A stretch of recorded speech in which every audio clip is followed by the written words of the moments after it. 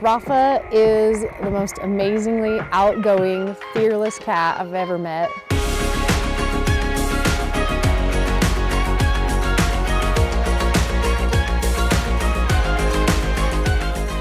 Our younger dog is incredibly social. He's shown a ton of interest in cats in a social, playful way.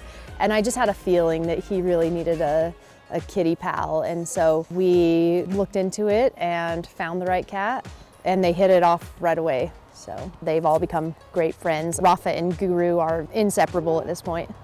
So the first time he wore a harness was at my house. Uh, he was a little angry at first, but adapted quickly. And because Rubina had pre-adopted him, she dropped one off for me to get him started on it as quick as possible. I think she liked the idea because she could train him as he was younger to want to be on a harness and go on adventures with her. We hoped that he would become an adventure cat. My partner and I, we travel a lot and the thought of leaving our cat behind while our dog goes out with us sounded awful to both of us, you know. And so you rarely see cats out and I don't have a lot of experience with cats and so we didn't know what to expect. So we've been very, very happily surprised with him. Tess and I have both been just so amazed at how many people stop us on the trails to ask about him, to take pictures of him.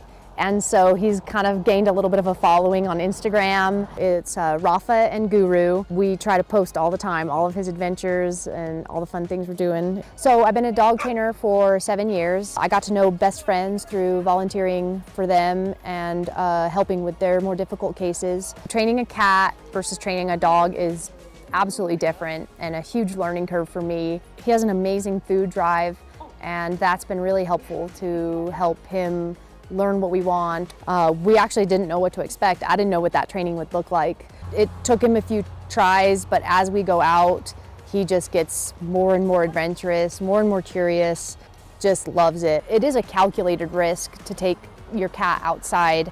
And so I think knowing your cat uh, having the right cat to do it is, is important, I think, but we do try to take precautions to keep him safe. For example, we've never taken him out without each other. My partner and I both go out at the same time, always, and that's so somebody's always watching. And then having a harness on him, a leash on him, and working together as a team. And so taking him outside has been so enriching for him. He lights up when we bring his harness out. He gets excited when we get in the car rides because he knows we're going somewhere, we're gonna go explore. Just out exercising and sniffing and climbing and scratching trees. We don't even have a cat tree at home because he gets all of his needs met. I mean, he's just so happy. I can't imagine not taking him outside at this point. Hopefully we can just keep getting out, exploring, and motivating other people to do the same with their cats you know, I've been a dog person my whole life, obviously, working with dogs, living with dogs.